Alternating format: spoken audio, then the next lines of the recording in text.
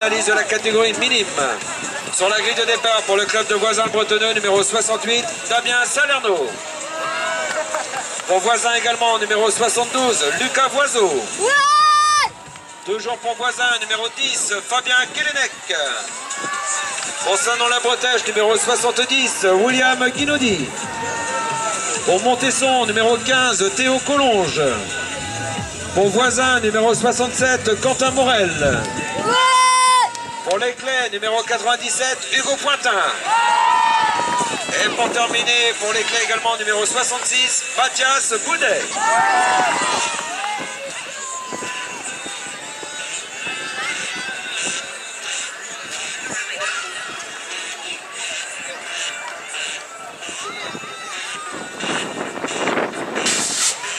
Voilà, la finale des minimes. Attention, couloir numéro 1, Mathias Boudet.